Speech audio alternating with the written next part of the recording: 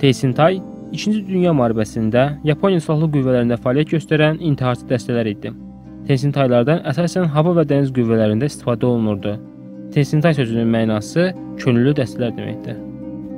Bu videoda intiharçı pilotlardan, kamikazelərdən danışacağıq.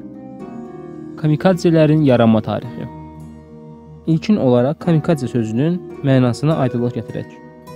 Yaponcadan tərcümədə kami tanrı, kadze isə kürək deməkdir. Kamikaze sözü ümumilikdə bizə ilahi külək anlayışını verir.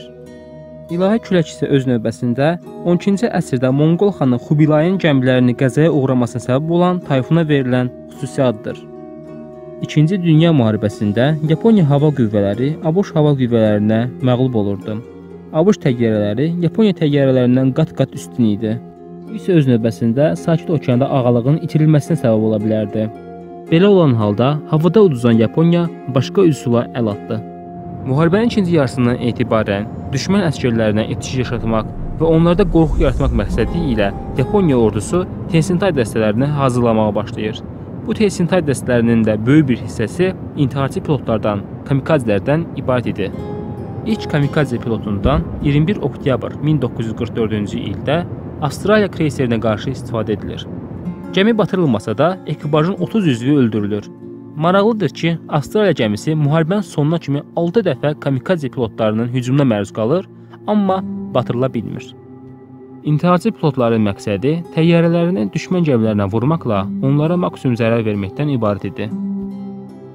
Yaponiya tərəfi müharibə dövründə 2525 kamikaze pilotu hazırlayır.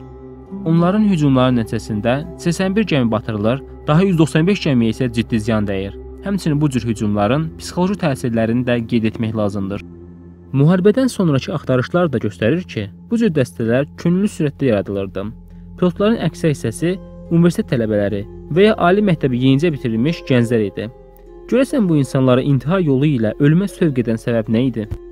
Kamikazələr xüsusi şəkildə hazırlanırdı. Bu zaman qədim samuray kodeksindən, Bushidodan istifadə olunurdu. Bu qaydalar toplusuna əsasən samuray ölümü müqəddəs hadisə kimi qarşılamalı idi. Bu qanunlar əsasında hazırlanan kamikaze pilotlar vətən, imperator, ailə uğrunda ölümə getməyə hazır idi. Kamikaze olan gənclərin ailələri cəmiyyətdə böyük hörmət qazanırdılar. Uçuşdan əvvəl pilotlar üçün xüsusi tədbir görülürdü. Uçuşdan əvvəl pilotlar alınlarını ənənəvi ağ rəngli Hachimaki sarğıları ilə bağlayır və bir fincan sake içirdilər. Adəti olaraq havada olarkən kamikazələr son dəfə vətənlərinə baxır və bu baxışlarla da onunla sağollaşırdılar və Yaponiya sahillərini tərk edirdilər. Ancaq bütün kamikazələr qarşıya qoyulmuş hədəfə çatmırdı. Məsələn, Yamamura adlı pilot 3 dəfə bu cür uçuşlardan sağ çıxmışdı. Bəzən isə təyyarələrdə nasazlıq yarandığına görə pilot yarı yoldan geri qayıtmalı olurdu. Müharibədən məğlub çıxan Yaponiya ordusunda Teisintai dəstələri ləğv edildi.